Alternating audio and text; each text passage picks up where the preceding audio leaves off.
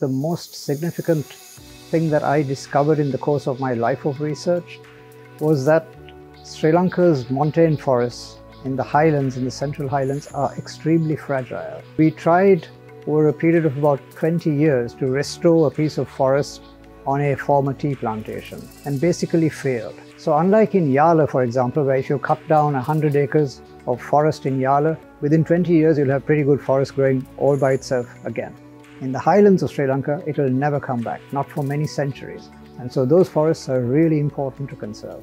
Hi, I'm Rohan Pethiyagoda and I think most people think of me as a biodiversity scientist, someone who goes around exploring and discovering stuff in Sri Lanka's forests and ecosystems.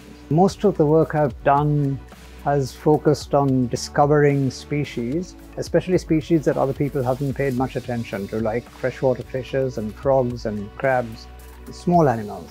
The other part of my work has been, of course, trying to discover the dynamics of montane forests, the forests of Sri Lanka's highlands, and how we can conserve these.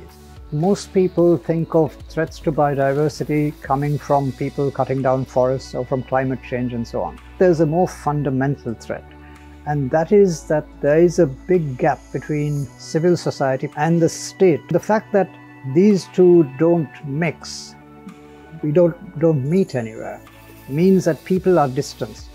Civil society is distanced from the objects of conservation. As we urbanize, people have fewer and fewer opportunities to connect with animals. We need to give opportunities for people to connect with wildlife, with animals. And a lot of young people are doing this now by way of bird watching or butterfly watching or taking an interest in a school nature club. The trajectory of the country is in a really good direction when it comes to conservation. The thing we need to recognize in Sri Lanka, we have a great strength, and that is the cultural environment of the country. Sri Lankans have a natural affection for life. People don't like killing things. People will stop on the street to let a small lizard cross the road.